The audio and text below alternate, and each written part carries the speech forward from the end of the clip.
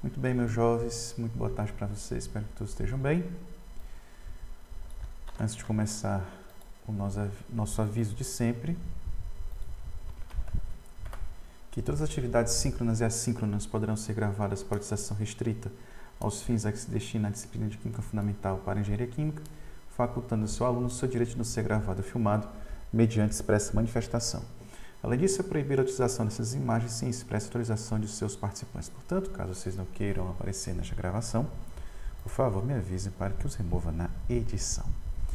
Então, jovens, meus jovens, queridos jovens, hoje nós vamos falar sobre compostos inorgânicos. Né?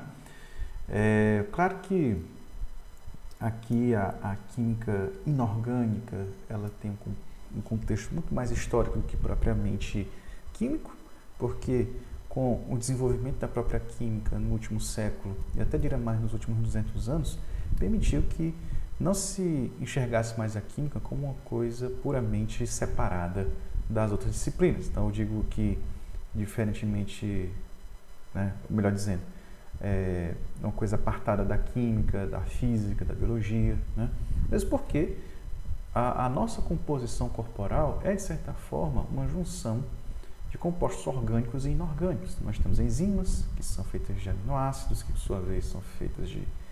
É, são compostos orgânicos, mas também nós temos algumas é, vitaminas que são compostos que são chamados de organometálicos, ou seja, possuem metais e ametais, como é o caso da vitamina B12. Não somente em nós animais, mas também no metabolismo vegetal nós temos a clorofila, que também possui magnésio na sua composição em um composto de moléculas que ficam ligadas a ela, por isso que dá aquela cor verdinha. Ou a hemoglobina, né, que ela é vermelhinha, justamente porque tem ferro com algumas proteínas ligadas nele. Né? Então, meus jovens, quando a gente tratar de química inorgânica, é, vejam que é um assunto muito mais. O, o título da aula é muito mais histórico do que propriamente é, científico porque hoje nós já sabemos que existe aí uma confluência, uma interseção muito grande entre todas as áreas da ciência. Então, é, não, se pautu, não se pautuem somente em achar que substâncias inorgânicas são aquelas que não são orgânicas. Nós vamos ver que isso já é, já é um, um, um conceito furado desde o século XIX. Mas, na aula passada, nós tivemos aqui a nós falamos, né? Então, não tivemos aula na segunda, né? Mas eu já coloquei as aulas para vocês à disposição. Nós vimos sobre as soluções, como a gente faz para fazer alguma, alguns, alguns cálculos de solução, né? Como fazer. Falamos também sobre a metodologia de preparação de soluções, inclusive sobre o que fazer, o que não fazer. Também nós falamos sobre diluição de soluções. Vimos tanto a forma de calcular é, o soluto sólido quanto o soluto líquido. Então, existem modos diferentes de fazer a mesma coisa, dependendo do que você esteja preparando. Então, tudo isso, é, obviamente que também são coisas que vocês verão no futuro, quando nós sairmos aí da, da pandemia, são coisas que a gente vai utilizar na prática no laboratório. Então, eu acho que é muito importante mostrar isso para vocês para que vocês tenham ideia de, de como que, de qual é a nossa rotina dentro do laboratório. Então, vamos aqui começar, vamos aqui falando sobre os tais compostos inorgânicos, né? Então, contextualizando vocês, né? No, no que nós estamos falando sobre inorgânicos e por isso que nós temos esse, né, essa interrogação, né? Interessante mostrar que até 1828, então nós estamos aqui no comecinho do século XIX, então nós temos aqui já mais ou menos um período pós-daltoniano em relação à composição da matéria, acreditava-se que os compostos chamados de orgânicos, ou seja, aqueles que possuem carbono, hidrogênio, oxigênio, nitrogênio e fósforo, eram produzidos apenas por seres vivos. Então, de onde vem o orgânico ou inorgânico? São, aquele, são aqueles compostos produzidos por sistemas que possuem órgãos, né? seja animal, seja vegetal. Então, por isso que esses seres vivos é que sintetizariam moléculas específicas, compostos químicos específicos, e somente eles poderiam produzi-lo. Um exemplo muito interessante disso é justamente o exemplo da insulina.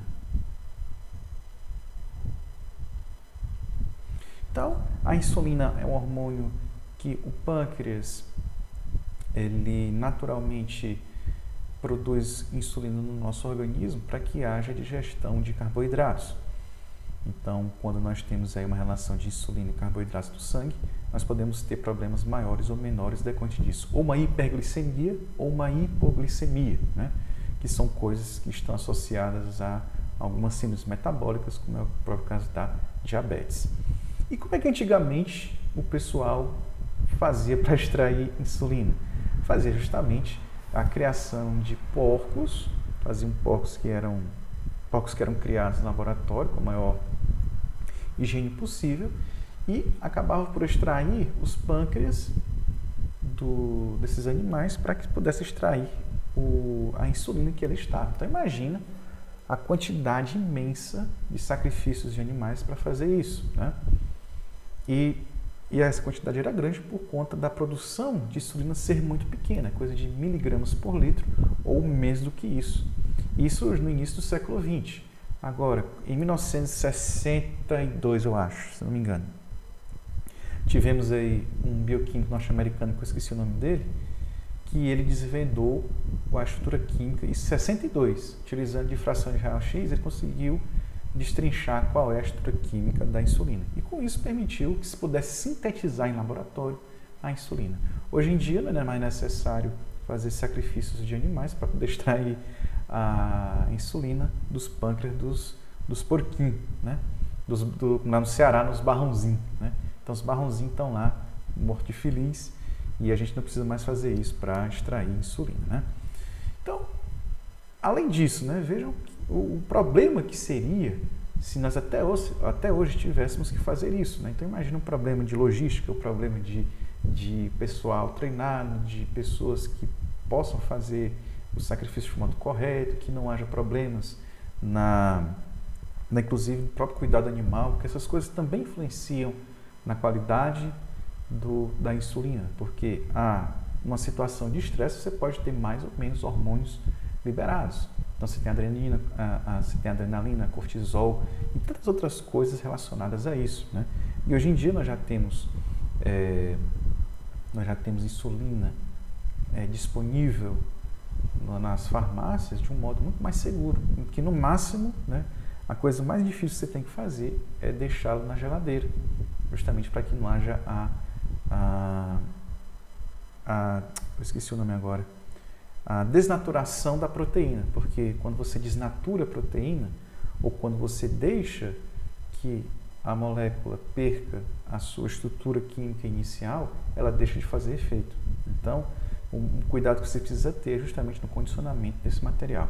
Hoje em dia, é, é muito mais fácil obter insulina do que antigamente, como eu falei para vocês anteriormente. Mas, naquela época, no início do século XIX, imagine quanto tempo não passou até que o pessoal se tocasse disso, que compostos orgânicos somente eram gerados por seres vivos, sejam eles animais ou vegetais. Então, qual é a conclusão lógica que nós tiramos daqui? Se somente os, os seres vivos podem fazer compostos orgânicos, somente os seres puramente materiais, como os minerais, tinham compostos chamados de inorgânicos ou não orgânicos, porque não tinham ali compostos que, que pelo menos teoricamente, né, não faziam parte da sua composição. Então, por isso que nós temos essa letra I de inorgânicos, representando um, um sufixo de negação, ou seja, não há orgânicos em inorgânicos. Né? Então, compostos que não possuem nenhum dos elementos que constituem os orgânicos são inorgânicos. E parte dessa afirmação era causada pela teoria do vitalismo, né? ou seja, que a vida poderia surgir de forma espontânea quando você juntasse ali alimentos né, ou coisas que pudessem favorecer a vida como um todo. E isso também já foi derrubado pelo próprio é, pelo Louis Pasteur, que ele era um farmacêutico francês, e é, isso já foi lá para o final do século XIX, se eu não me engano. Né?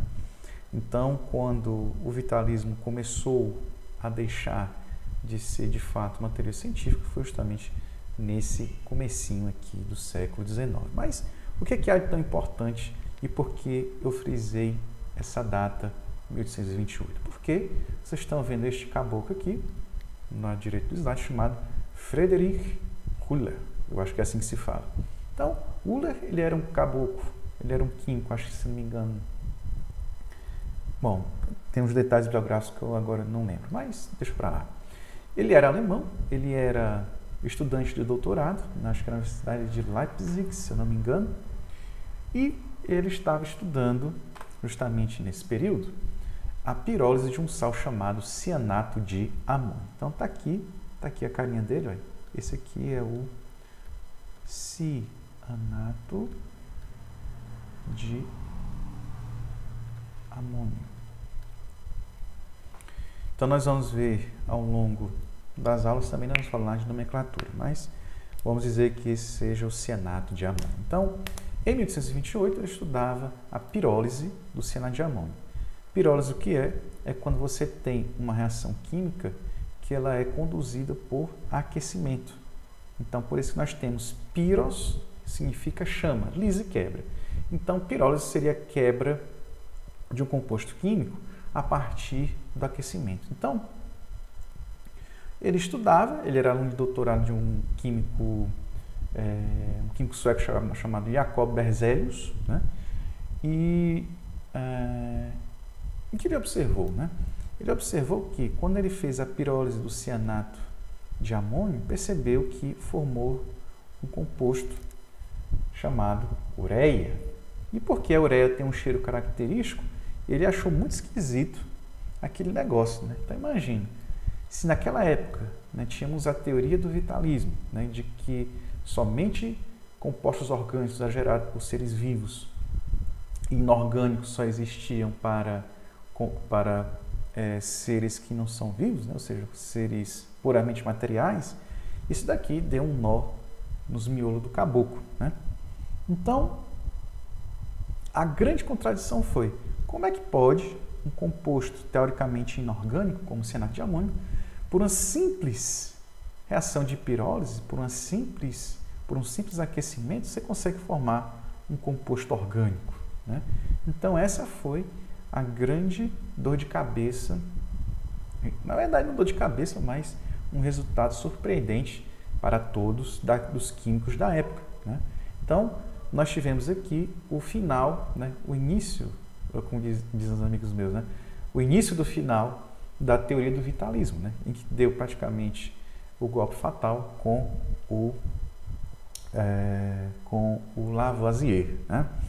Então, ou perdão, Lavoisier não, é com o, o Louis Pasteur, certo? Então, o que nós temos aqui é que pela manipulação química de compostos inorgânicos podemos ter compostos orgânicos e vice-versa. E a época tem uma uma, uma citação interessante do Berzelius, que é este distinto senhor aqui no lado direito desse slide, ele dizia o seguinte, né? Então, ele escreveu em carta para os colegas químicos deles da época, e disse assim, de certo modo não posso mais apoiar minha água química. Eu preciso reconhecer que posso sintetizar ureia, lembrando, ureia é um composto orgânico, sem utilizar os rins de qualquer animal, seja homem, seja cão. Não é o que ele quer dizer com isso. Eu posso simplesmente sintetizar um composto orgânico a partir de compostos inorgânicos. E, de certa maneira, é o que ocorre hoje em dia. Existem, e vocês vão ver isso lá na química orgânica, você pode partir, você tem a reação reagentes e produtos, como nós já vimos aqui. Sendo que entre reagentes e produtos, nós temos um meio ali, que é o meio dos, das reações e dos produtos intermediários. Nós já sabemos que o que interessa para nós é reagentes e produtos, mas também interessa a parte média que fica entre reagentes e produtos. E é justamente aqui que nós temos as interseções da química com as outras áreas do conhecimento, não somente química, certo? E foi assim que se derrubou a teoria do vitalismo. Né? Então, aos pouquinhos, a teoria do vitalismo foi derrubada. Depois houve o experimento, da, o experimento de Lavoisier em relação a isso. E aí, que nós tivemos era que, a partir daí, poderíamos obter compostos orgânicos dos inorgânicos e vice-versa. Uma coisa que é possível dentro da área da química orgânica, chamada de síntese orgânica. Né? E, e a coisa é tão doida de um jeito que já no Egito Antigo, há muito, muito, muito tempo atrás, já se falava do vitalismo. Né? Então, naquela época, por conta até mesmo da, da, da sociedade egípcia da época, né? pela mistura, né? pela, pela, pela visão do faraó como sendo um deus encarnado, nós teríamos inclusive esse tipo de pensamento. Então, já há mais de 4 mil anos já se falava disso. Então, para você ver como, ah, como os problemas da humanidade são os mesmos há muito tempo, né? É, então, é, achei interessante colocar isso para vocês. E essa era a química inorgânica de antigamente. E como é que está, como está é, separada hoje a química inorgânica, né? Então, como eu falei no início da aula, o conceito de química inorgânica ela é referente atualmente aos compostos que não possuem carbono em sua estrutura. Mais ou como diria o. Né? Mais ou menos, mais ou menos, né? Porque você tem é, dentro da química inorgânica, você tem compostos também que são que possuem carbono, mas é um carbono chamado de inorgânico, ou seja, um carbono que não pertence à classe de química orgânica que eu falei para vocês anteriormente. Então, é um negócio confuso mesmo, né? mas de qualquer maneira, a química inorgânica ela tem um foco muito claro dentro da química e que a gente vai descrever agora. Então, nós temos a química inorgânica descritiva, que, como o nome sugere, ela nos traz a descrição e a classificação dos compostos químicos, né? ou seja, dos elementos dos compostos que eles se derivam, em função das suas propriedades. Nós já vimos um pouquinho dessa química inorgânica na metade do semestre passado, quando nós falamos dos elementos da tabela periódica. Então, como sabemos das propriedades periódicas, das valências e de tudo mais, vem da química inorgânica. E daí nós temos também, é, dentro da química inorgânica descritiva, os chamados compostos de coordenação, que são compostos em que nós temos interação de moléculas, ou seja, compostos não, não, não inorgânicos, com metais, são compostos orgânicos que eles se é, coordenam entre si. Por isso que nós temos esse nome de coordenação, né, que eles fazem uma ligação do tipo coordenada. E também nós temos uma ampliação do conceito dos compostos de coordenação, que são chamados os compostos organometálicos, ou seja, compostos né, de uma forma muito mais ampla. Nós temos aí compostos orgânicos e inorgânicos interagindo entre si. Nós temos também a química inorgânica teórica, Ora, a química inorgânica descritiva, como já sugere, descreve o que podemos ter em relação aos compostos e elementos que existem na natureza. Então, isso implica dizer que existe um, uma parte experimental, quer dizer, eu faço experimentos e dos, e dos resultados obtidos, nós temos algumas conclusões. E a partir daí nós fazemos nossa base de conhecimento a partir dos resultados obtidos.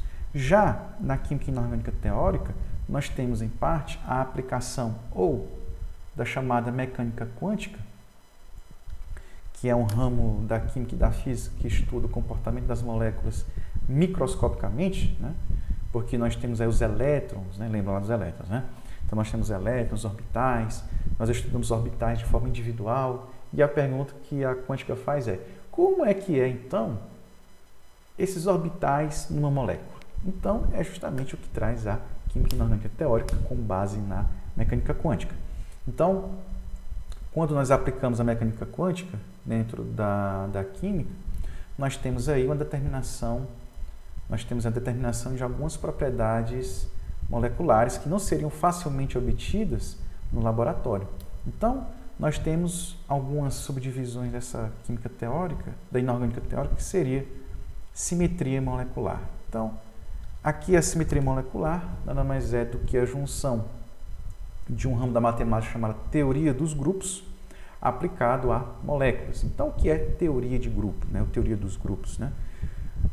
Existem formas geométricas das moléculas e essas formas geométricas elas respeitam um tipo de configuração matemática.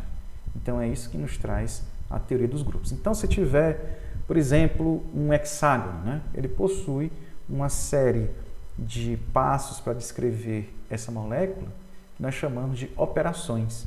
Então, ele, ele tem um plano de simetria, ele gira em torno de eixo, quantos eixos ele possui e assim por diante. Então, quando nós temos um conjunto de operações que determina um grupo, né, ou seja, um grupo pontual, ou seja, especificamente um tipo de geometria, nós dizemos isso que é um, uma simetria. Então, a molécula se é, é chamada de simétrica. Né?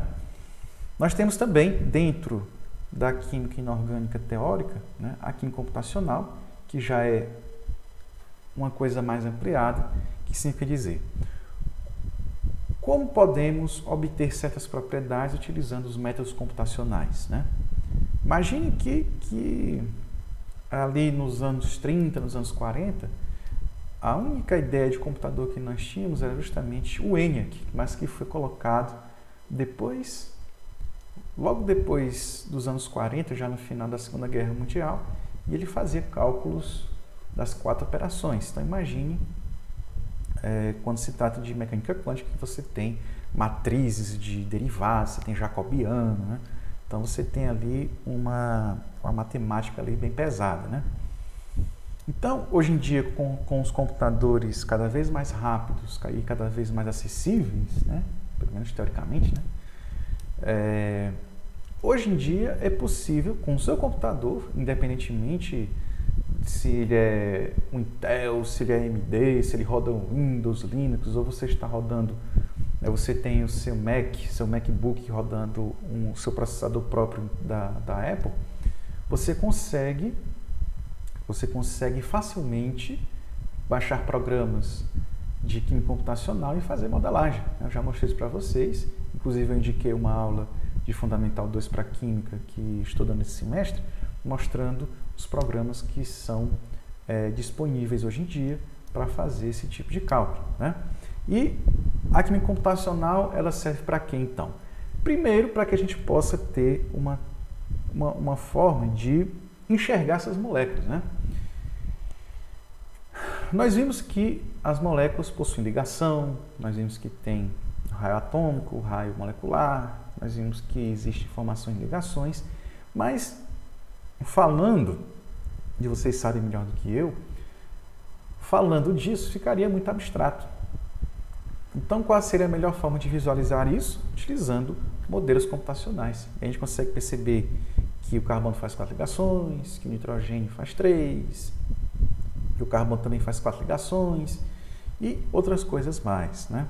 E também nós temos aí é, um outro ramo né, da parte, não somente da, da mecânica quântica, que envolve os cálculos chamados ab início, né? então DFT e semi-empírico são chamados de ab início, que é uma palavra em latim que significa do início, do começo, que estão ligados com a mecânica quântica. Então são os, são os métodos de DFT e os métodos semi-empíricos. Né? Qual a diferença entre os dois? Os dois tem uma diferença de simplificação de modelo. Então, deve ter, vamos supor, um cálculo, né, um cálculo de uma molécula simples pode demorar 10 minutos, o cálculo de semi-empírico demora alguns segundos. Mas por que, que demora?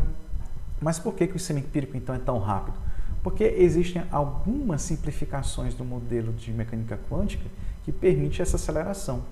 Então, normalmente o semi-empírico ele tem um foco e o DFT possui outro. Né?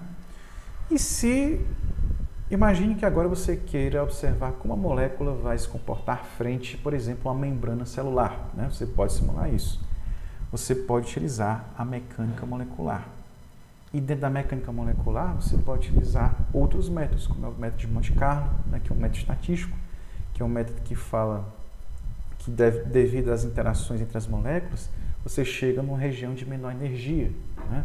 Ou você tem o chamado docking molecular, que é uma, que é uma, é uma aplicação biológica né, para as ciências biológicas da da, da dinâmica molecular. Né? Então você tem lá uma enzima e tem lá um composto. Né? Então você joga esse composto dentro do ambiente computacional e aí você vai verificando como é que a molécula vai tateando nessa enzima. Então ela, quando ela chegar no, no nível de é, no nível de energia mais baixo, ele vai estar tá lá ligado em, em, alguma coisa dentro dessa molécula. Então você acaba por analisar e tendo aí umas, é, alguns resultados interessantes. Né? Então, tem muito mais a falar sobre a química inorgânica teórica, mas acredito que é, isso é interessante. E também dentro da química inorgânica nós temos o que nós chamamos de caracterização química. O que seria isso? Né? Então, a caracterização química serve para que a gente possa saber o, com o que nós estamos lidando. Né? Vocês verão lá na química analítica uma coisa chamada de química analítica qualitativa. Né? Porque a partir de certas reações químicas você pode identificar qual é o composto em questão. Então, por exemplo, é, você tem lá um composto que provavelmente tenha cloreto. Né? Então, como é que você sabe que tem cloreto né, se na amostra? Né? Então, você pinga a coisinha de nitrato de prata, aí você percebe que forma precipitado no fundo. Né? Então, precipitado de cor branca é justamente a característica da presença de cloreto. Então, o que nós estamos fazendo é caracterizando ou dizendo o que é aquele precipitado no fundo do, da, do tubo de ensaio. Nós podemos fazer isso para os compostos inorgânicos, obviamente, e também para os orgânicos. E aí nós utilizamos diversas ferramentas, então desde ferramentas espectroscópicas, ou seja, aquelas que interagem da interação da luz com a matéria. Então nós temos espectroscopia UV-Vis, Raman, infravermelho, espectroscopia Mossbauer e também nós temos aqui métodos que envolvem carga elétrica, né? podemos ter métodos eletroquímicos, é, potenciometria, voltametria, condutimetria e assim por diante. Portanto, Aqui, em termos gerais, é como é, ordinariamente a química inorgânica está dividida, certo? Mas agora vamos pensar nos compostos inorgânicos mais simples, né? Então, como a gente pode perceber, existe uma combinação muito grande entre os, os elementos entre si que pode formar uma quantidade chamada infinita, né? Na verdade, seria melhor dizer indeterminada, né? Mas tudo bem. Então, dos infinitos compostos inorgânicos existentes, a gente pode destacar quais? Nós temos quatro, pelo menos. Né? Nós temos os ácidos, que são substâncias que liberam em meio aquoso por um processo chamado de ionização prótons em solução. Então, que a ionização significa dizer formação de íons. Então, você tem um composto molecular, como é o caso do ácido clorídrico, quando a gente dissolve uma coisinha de HCl em água, que forma é, uma, formam dois íons, íons H+, dos prótons, e íons Cl- do cloreto. Então, esses íons não existiam na molécula de HCl, começam a existir quando nós diluímos esse ácido em solução. Lembrando que a, o conceito de ácido base aqui, ele é conceito de arrênios, nós vamos ver quando tratarmos de equilíbrio ácido base, nós vamos ver que é, a definição de arrênios é extremamente limitada, mas voltando. Então, que é um ácido, segundo Arrhenius, são substâncias que liberam em meio aquoso por ionização prótons. Né? Então, o próton, que é para nós aqui, é justamente o H+. Então, se um, próton, se um ácido é quando libera um próton em solução aquosa, o que seria então uma base? Né? Uma base seria uma substância que libera em meio aquoso, por dissociação, o que nós chamamos de íon hidróxido ou hidroxila. Então, se a ionização ocorre quando os íons ainda não existem, portanto, eles ocorrem em substâncias moleculares, quando nós chamamos de dissociação, significa dizer que os íons já existem. Então, isso implica dizer que a substância em questão é uma substância iônica, como é o caso do hidróxido de sódio. O hidróxido de sódio é um sólido mas ao dissolver em solução, em solução aquosa, o que nós temos é formação de íons em A+, com OH-.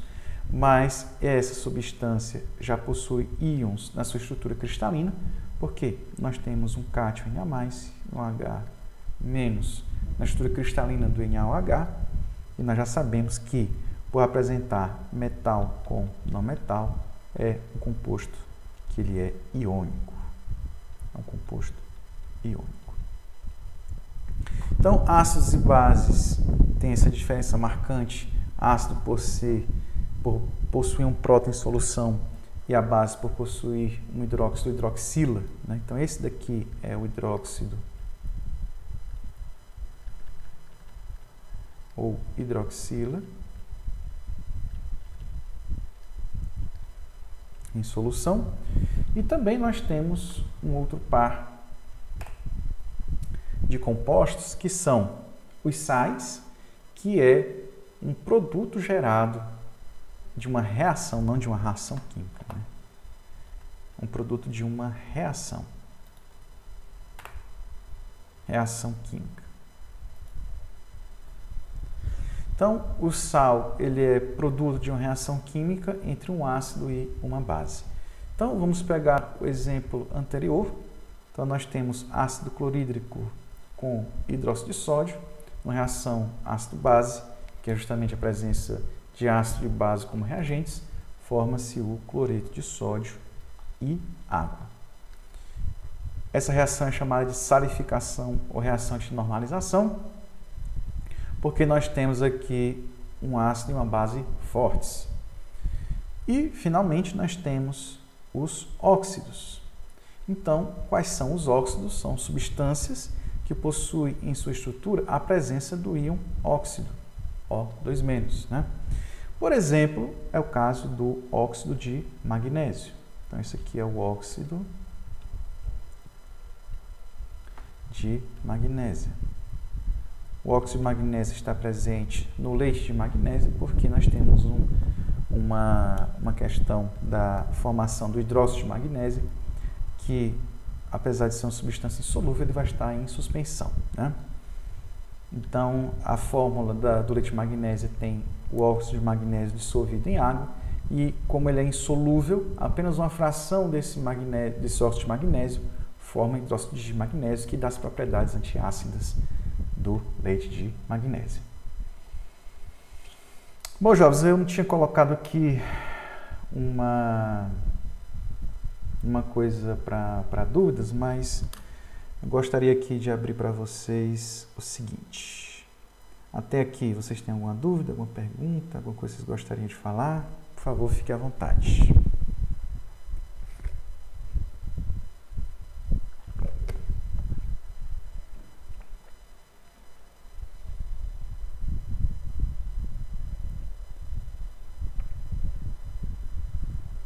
Tudo bem até aqui?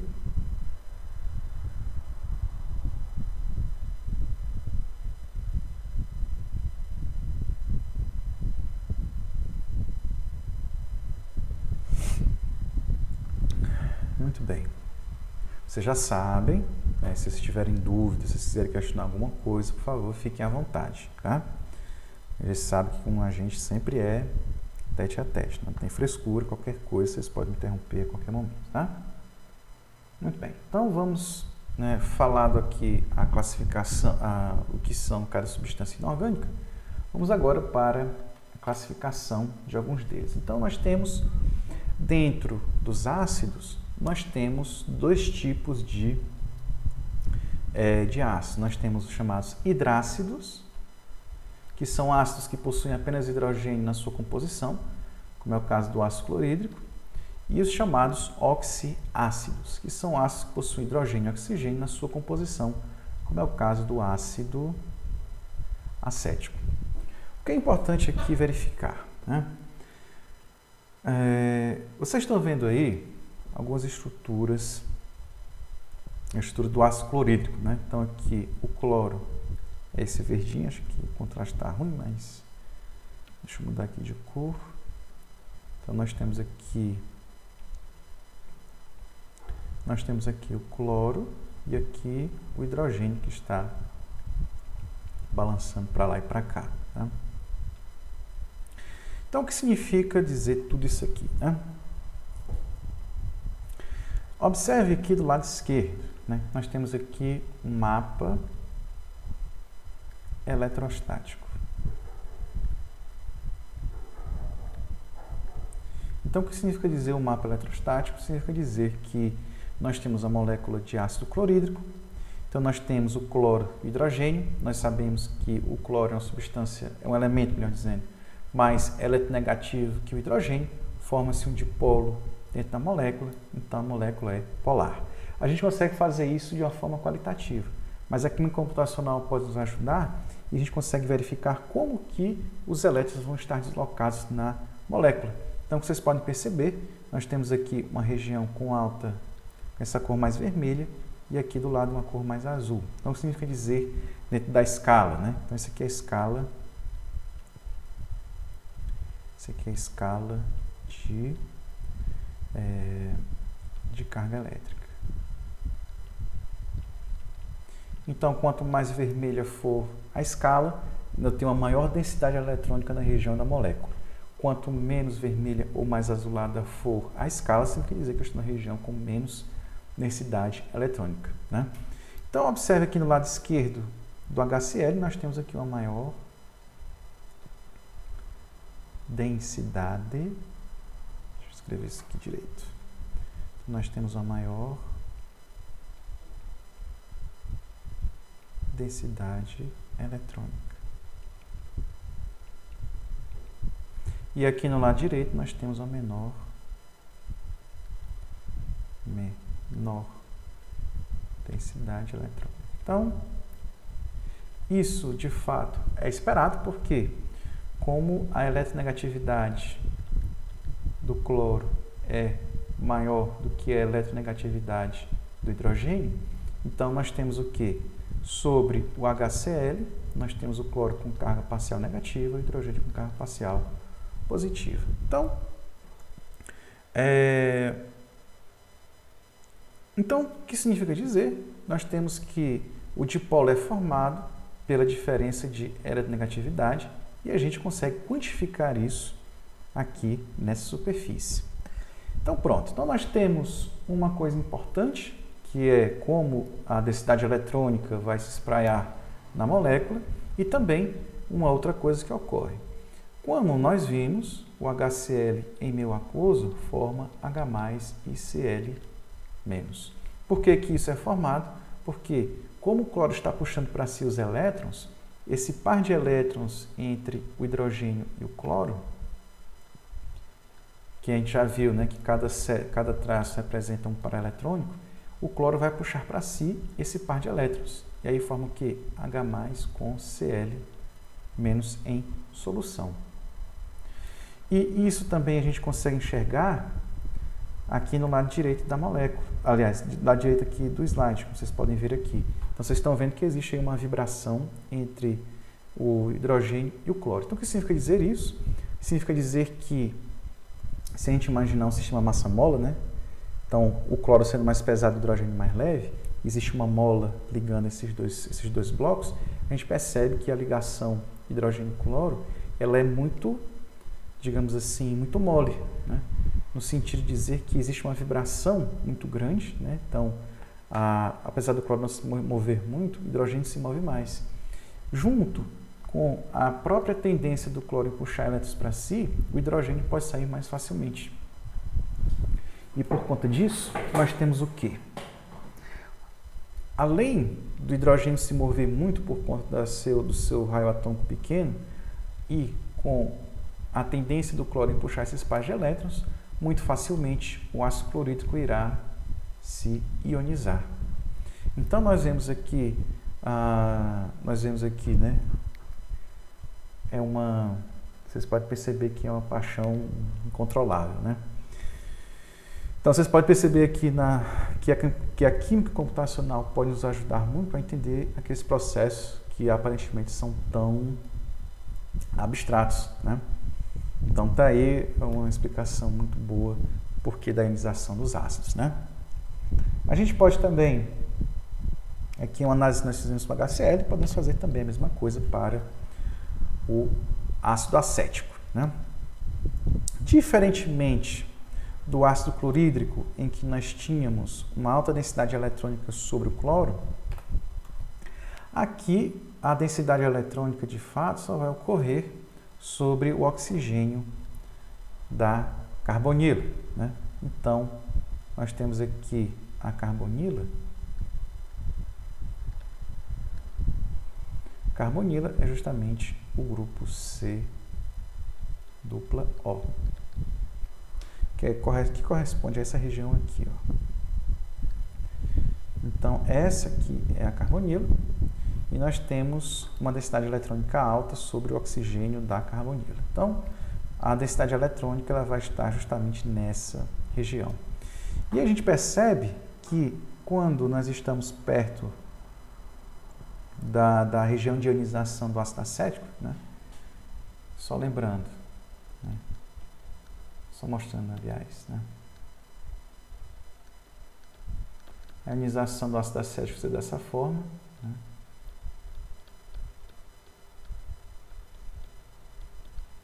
Então, forma-se o íon acetato e o H em solução.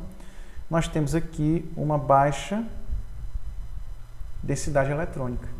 Então, o que significa dizer isso? Significa dizer que o ácido carboxílico, né, que é o conjunto do C dupla O com OH, então nós temos aqui o ácido carboxílico, ou seja, C dupla OH, que é o conjunto entre C dupla O com OH, o ácido carboxílico ele não permite que haja uma estabilização da densidade eletrônica. Então, essa densidade eletrônica ela fica sobre os oxigênios e os oxigênios eles acabam se tornando muito instáveis. Então, qual a tendência é que o hidrogênio saia pouco da molécula. E como é que a gente consegue perceber isso?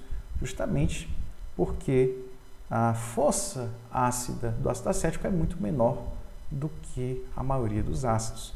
Ainda que a gente consiga enxergar uma variação do hidrogênio, né? uma movimentação do hidrogênio em termos de saída de ionização, ainda assim a molécula ela é um ácido fraco, certo? Então significa dizer que nós temos aí uma baixa concentração de íons H+, que caracteriza sua acidez em solução.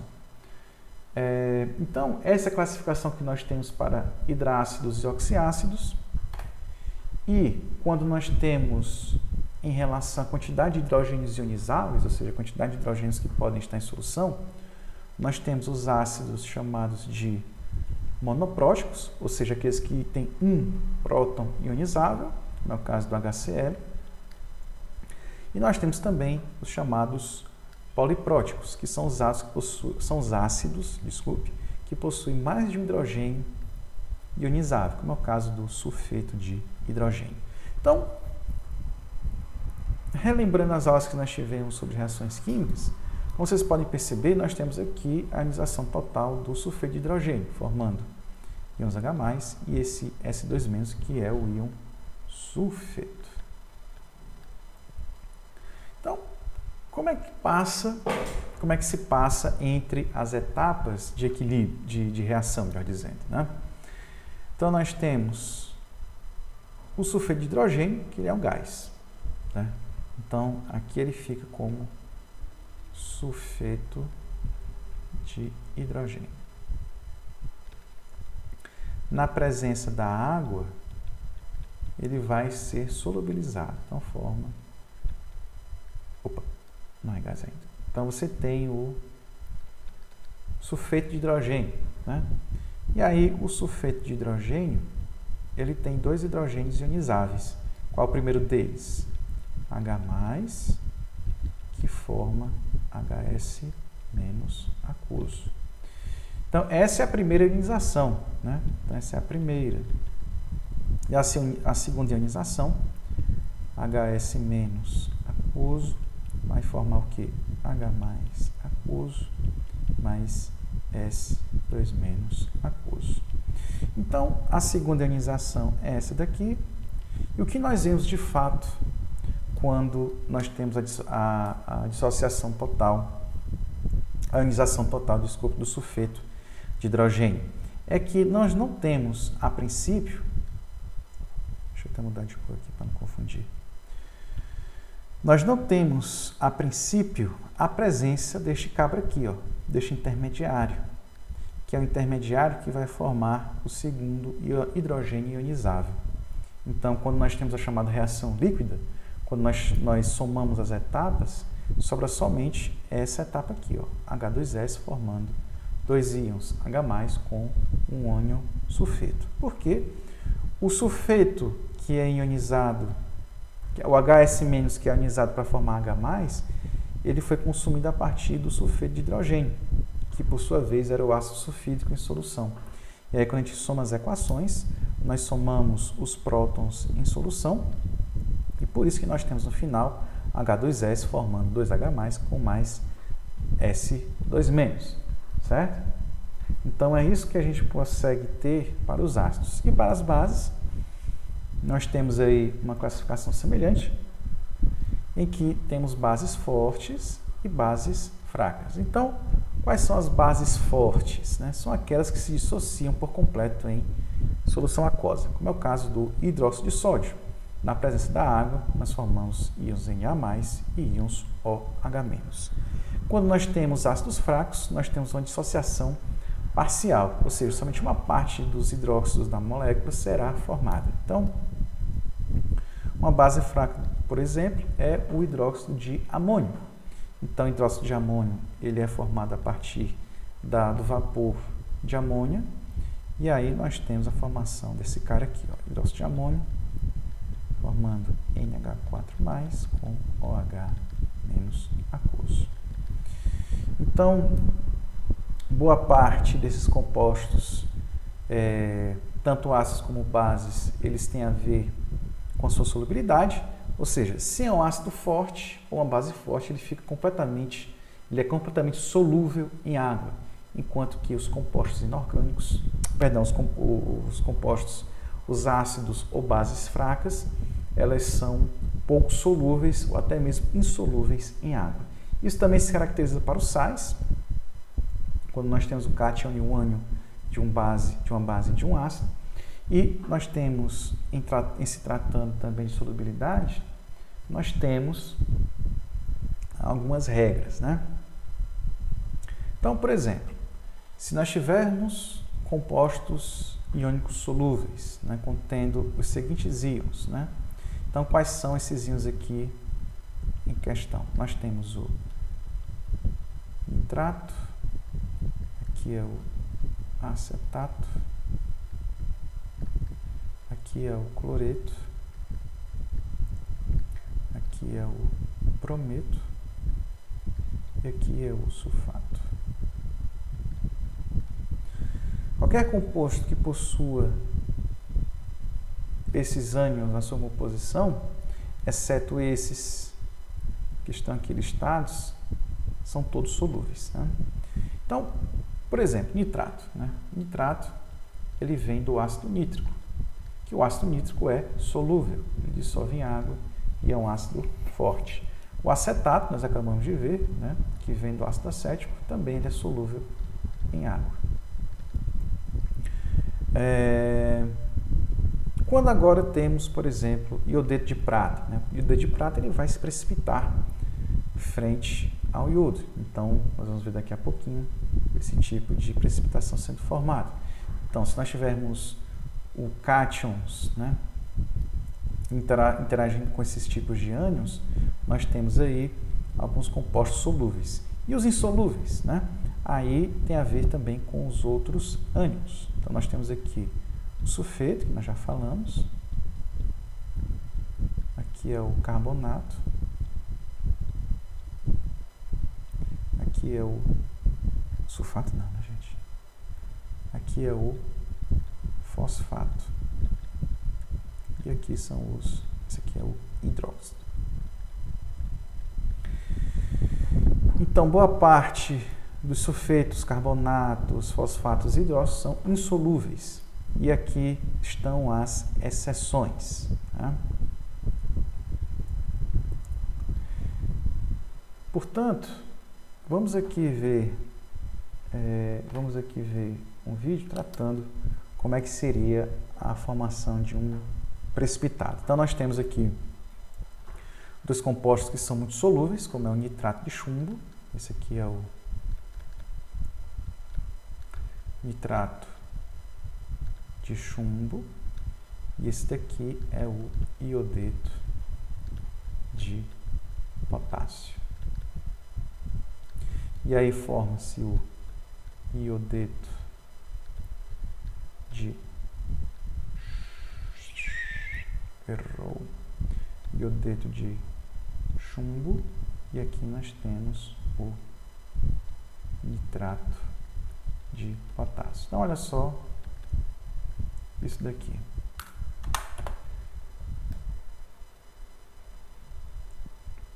Então deixa eu copiar aqui do vídeo.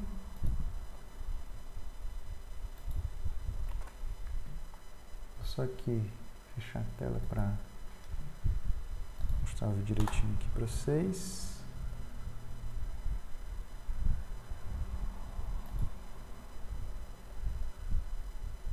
A propaganda.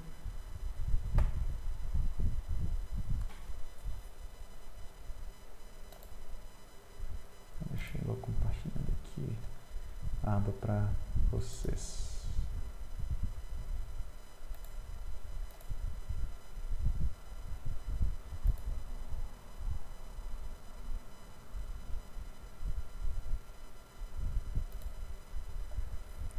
carregar a página.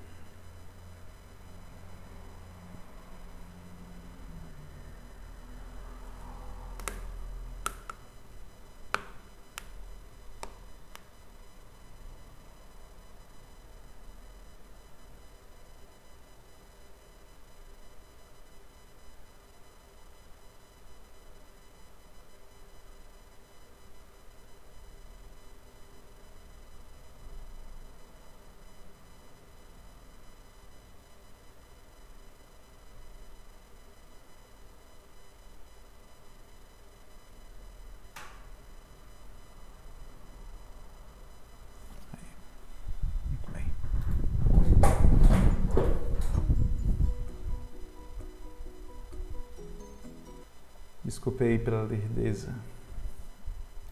Computer, mas o bichinho tá fazendo o trabalho dele. Então vamos lá.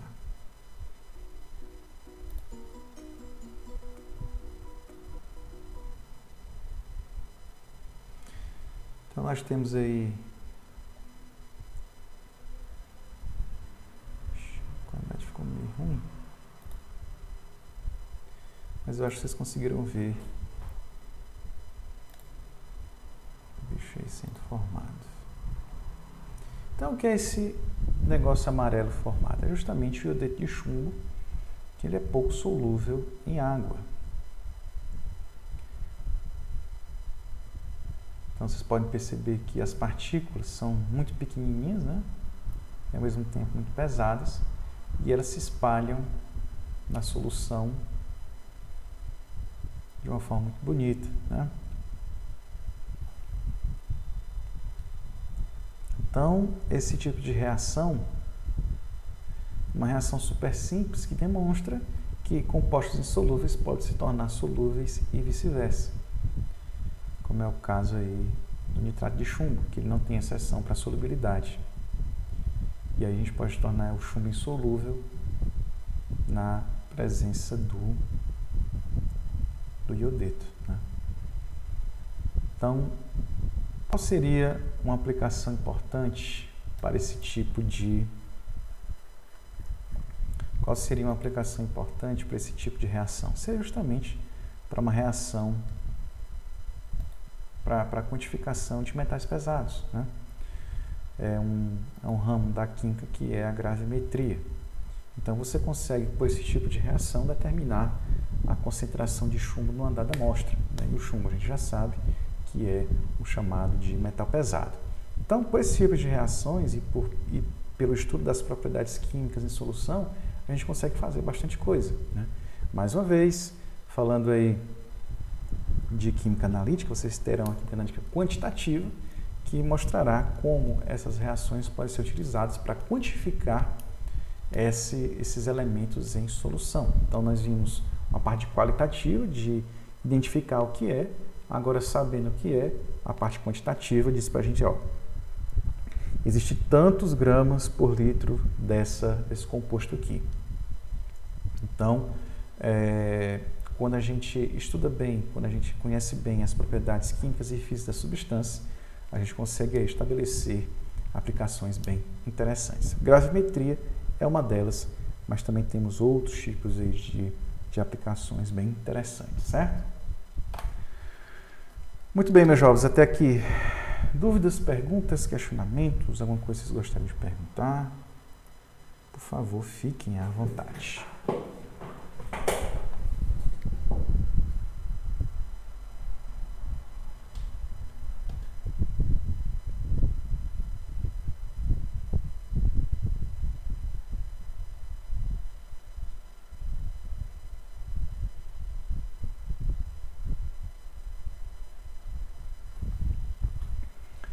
Até aqui?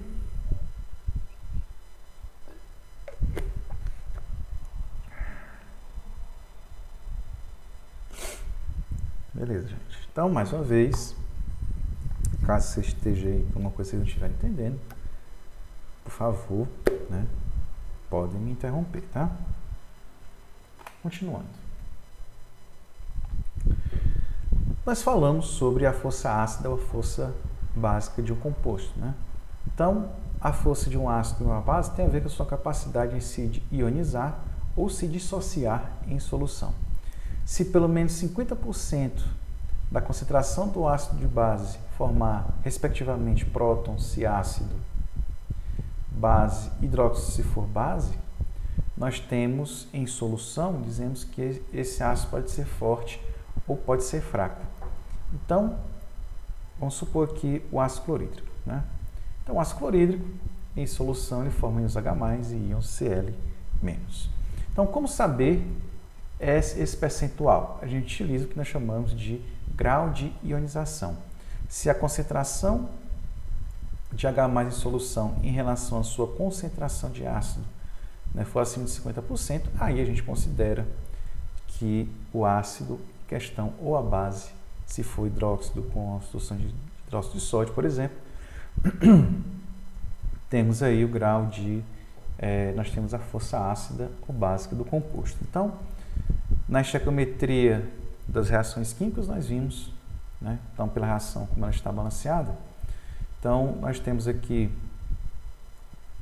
um mol, nós temos aqui um mol de HCl formando um mol de H+, com um mol de Cl-. Então, necessariamente um mol de cada um dessa reação vai ser formado durante a ionização. Então, já se tem esse cálculo já há algum tempo, o cálculo do grau de ionização do HCl ele é quase 100%, e aí a gente considera que ele está completamente ionizado, logo ele é um ácido forte. Mas não é o caso, por exemplo, do ácido acético o ácido acético ele tem um grau de ionização menor que 1%. Agora, por que isso acontece? Então, como eu falei para vocês, a, a força ácida ela vai depender da, da, da, capacidade da molécula em liberar H+, né? no caso dos ácidos, ou dos, das bases, da capacidade de liberar o H-. Então, o que acontece? A água possui um par de elétrons é, ligante, né? tem dois pares de elétrons ligantes, e aí o que acontece? Não pensem que as reações químicas elas ocorrem de forma paradinha, como se fosse quase que um aperto de mão. Né? Na verdade, não, é uma coisa extremamente caótica. Né?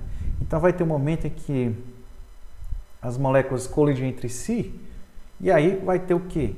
Na colisão entre as moléculas, o par de elétrons da água atinge o próton, né? o hidrogênio que está no ácido, e o oxigênio que tem maior negatividade vai capturar o par de elétrons da ligação, ele forma o íon acetato. Então, nós temos aqui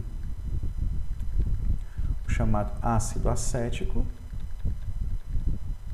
e aqui nós temos o acetato. Porém, o que nós temos afinal nesse sistema? Né? Oxe, deu H mesmo? Não, aqui é, é H3 ou mais. Então, eu errei aqui, ó. Então, forma H3 ou mais, né? Que é uma outra característica, né? Eu estou falando se mostrar o próton, né?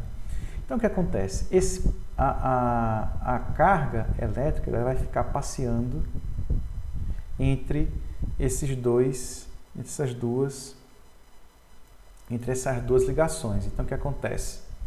Esse par de elétrons acaba passeando em C dupla O porque são justamente as regiões nas quais nós temos os elétrons, nós temos aqui os elétrons da, da ligação que fica, é, que fica disponível. Né?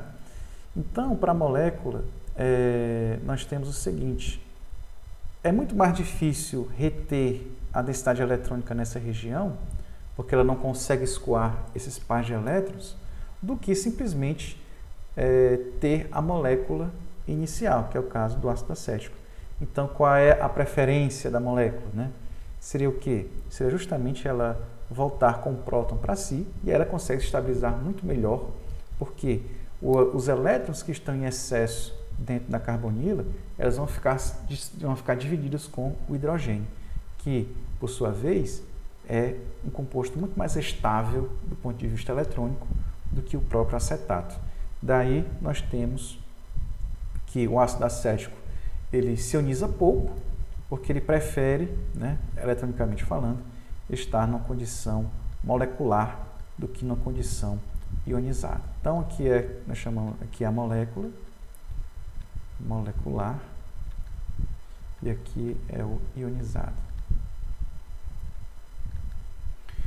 Então, quando nós temos esse tipo de comportamento, ele é mais um problema de onde os elétrons vão estar localizados.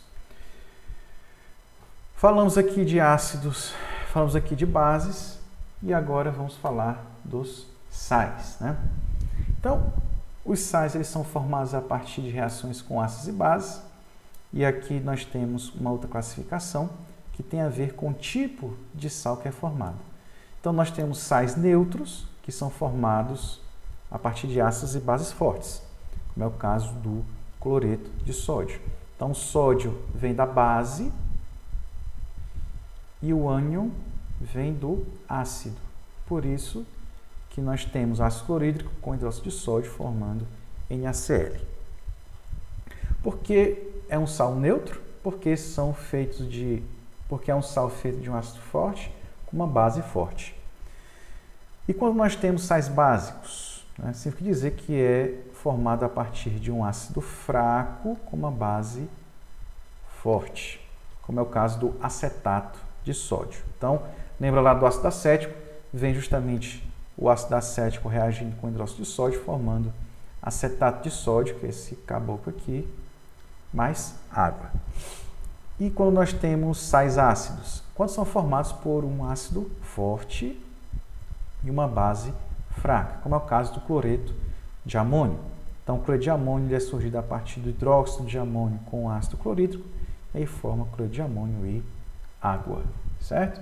Mais na frente, quando nós tratarmos de equilíbrio ácido-base, nós vamos ver as razões químicas porque nós consideramos sais neutros básicos e ácidos dessa maneira, por uma coisa chamada de hidrólise salina. Então, eu já havia falado para vocês, pela classificação dos sais, que tem os sais solúveis e insolúveis. Né? Então, a solubilidade também está relacionada à quantidade de, de produtos formados em termos de dissociação. Então, se eu tenho um sal solúvel, significa dizer que, significa, significa dizer que o grau de dissociação desse sal é maior do que 50%, como é o caso do cloreto de sódio. Então, o cloreto de sódio ele é um eletrólito forte, né? ou seja, é um sal muito solúvel, portanto, ele tem seus íons dissolvidos completamente disponíveis em água. Não é o caso do cloreto de prata, que ele é um sal insolúvel. Então, cloreto de prata ele entra numa coisa chamada de equilíbrio. Né? Então, nem, ele não fica totalmente dissociado em solução, ele fica na sua maior parte formada como um sal ou como um precipitado. Também nós temos uma caracterização dos óxidos que tem a ver com o elemento que se liga com o ânion em questão, ou ânion óxido. Então, nós temos três tipos de óxido. Quando nós temos um óxido com metal alcalino ou alcalino terroso, nós temos um óxido básico. Ou seja, por que um óxido básico? Porque quando a gente dissolve em água, forma, olha só, forma uma base. Então, nós temos o óxido de sódio na presença de água formando hidróxido de sódio. Nós temos também o inverso. O que é um óxido ácido? São aqueles óxidos que são formados por elementos não metálicos que, dissolvidos em água, formam ácidos, como é o caso do ácido sulfúrico. Então, nós temos aqui o trióxido de enxofre na presença de água, que ele é um gás, então a gente dissolve, isso é nos métodos industriais, inclusive, para é, para fabricação de ácido sulfúrico. Então, o SO3 ele é borbulhado, injetado dentro de uma, de uma caldeira com água, e aí ao final nós temos a formação de ácido sulfúrico. E aí nós temos também aquele, aquele óxido que pode ter comportamento tanto de ácido como também de base, como é o caso dos óxidos chamados de anfóteros, quando são geralmente formados por metais de transição. Por exemplo, nós temos o óxido de zinco, na presença do ácido ele se comporta como uma, um óxido básico porque forma cloreto de zinco e água, que nada mais é do que a reação ácido-base tradicional, né? porque nós temos aqui um cátion do zinco e o ânion cloreto que vem do ácido clorídrico. Né? Então aqui o óxido de zinco, o óxido de zinco, desculpe, frente ao ácido clorídrico, ele tem um comportamento de base. Mas o óxido de zinco também, na presença de uma base forte, como é o caso do hidróxido de sódio, ele se comporta como um ácido, porque ele consegue formar também um composto iônico. Então, como vocês podem perceber, é, as reações entre esses compostos são as mais variáveis possíveis, né? as mais variadas possíveis, melhor dizendo. Então, é importante que vocês tenham em mente que os compostos inorgânicos básicos são quatro: sais, ácidos, bases e óxidos. E tudo isso vai ser base para que vocês possam, né, vocês possam fundamentar nas outras disciplinas de química à frente é, tudo o mais que lá estiver, principalmente da química analítica, porque isso vai ser importante para vocês. Primeiro, entender esta comitê das reações, saber como, nós, como preparar soluções e, finalmente, como esses compostos podem se combinar entre si, tá? É isso aí. Então, até agora, tudo bem até aqui? Dúvidas, perguntas, questionamentos? Alguma coisa vocês gostariam de perguntar? Tá tudo bem até aqui? Pode falar aí para nós.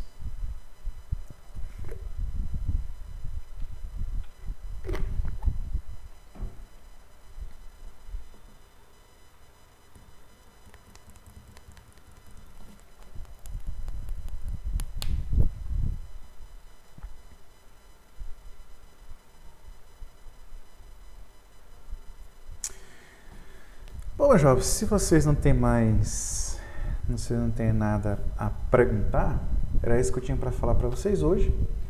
E na próxima aula nós vamos continuar esse conteúdo de química inorgânica, falando da nomenclatura dos compostos inorgânicos. Nós vamos nos aprofundar na teoria dos eletrólitos, que é justamente o desenvolvimento da teoria de arranhos, e vamos ver também outras teorias ácido-base, como é o caso de Blanche-Lowry e a de Lewis, certo? Então era isso que eu tinha para falar para vocês hoje, tá? Então vou aqui interrompendo a gravação.